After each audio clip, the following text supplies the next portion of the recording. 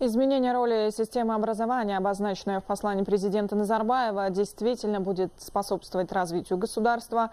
Известный британский писатель и журналист Ник Филдинг уверен, что улучшением человеческого капитала поможет Казахстану э, войти в топ-30 развитых стран мира.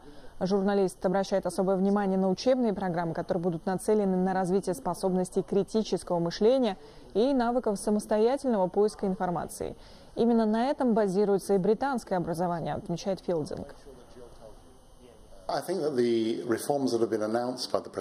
Послание президента Назарбаева – это очередной признак зрелости Казахстана. Ваша страна очень быстро развивается как экономически, так и политически. Радует то, что в нынешнем послании особое внимание уделено образованию. Ваш президент – дальновидный человек. Он понимает, что человеческий капитал – это прежде всего инвестиции в человека и в будущее страны.